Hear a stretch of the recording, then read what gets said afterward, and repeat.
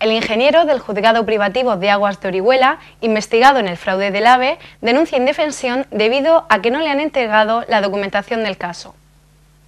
José Manuel Fernández Pujante ha acusado al juzgado de instrucción de Murcia, que investiga el presunto fraude en un tramo del AVE, de no facilitarle toda la documentación del caso, lo que asegura que le causa indefensión.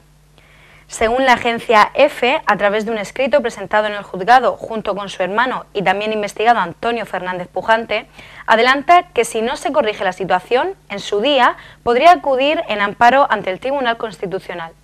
Señala el escrito que desde que se levantó el secreto de las actuaciones, el 1 de julio de 2016, han recibido los atestados que figuran en la causa, pero añaden que esa documentación no es suficiente, ya que tienen derecho a acceder a los documentos tenidos en cuenta para su elaboración.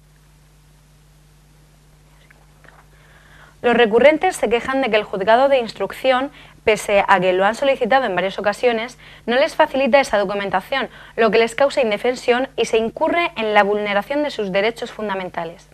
Señalan también que su letrado, en uno de esos intentos, se personó en el juzgado, pero que pese a la buena voluntad de los funcionarios, no fue posible hacerse con la documentación reclamada. Y añaden que existe también una dificultad técnica, porque aseguran no entender cómo se pueden copiar documentos como planos sin sacar los mismos del juzgado. José Manuel Fernández Pujante es uno de los principales investigados en el fraude de las obras del tramo del AVE comprendido entre Crevillente y Murcia, que podría llegar a los 50 millones de euros.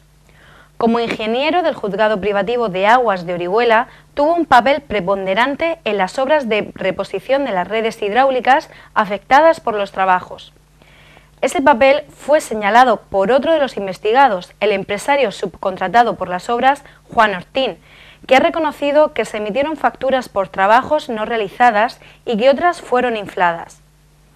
Asimismo, tiene declarado que él, personalmente, se encargaba de entregar a Antonio Fernández Pujante el dinero de las presuntas comisiones ilegales.